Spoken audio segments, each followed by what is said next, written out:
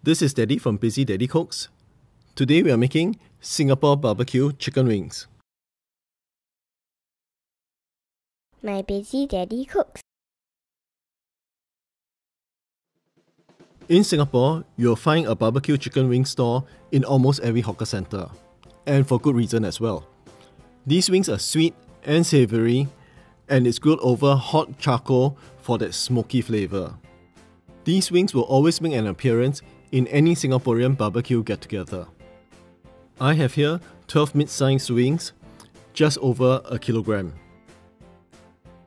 They are separated into the drums and flats. The wings can be easily separated by cutting down the center to expose the joint. Then just cut between the joint.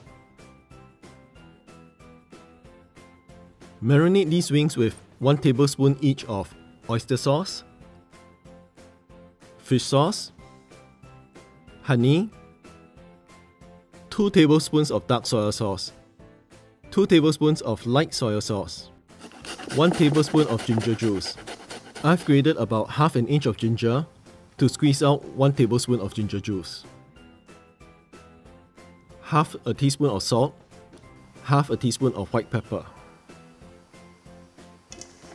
Marinate for at least 2 hours or overnight.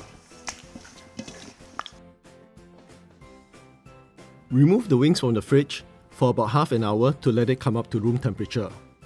You shouldn't cook cold wings as the outside will burn before the inside is cooked. The wings can be grilled, pan fried or baked. If you are using an air fryer, bake the wings at 180 degrees Celsius for 15 to 20 minutes.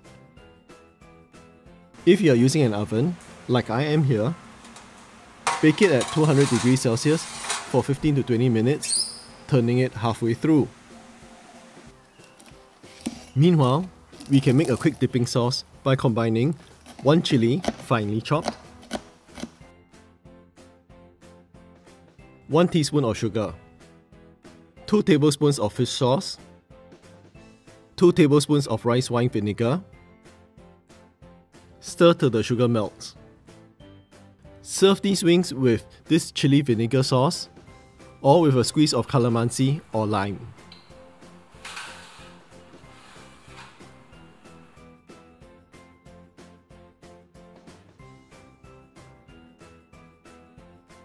Singapore Barbecue Chicken Wings.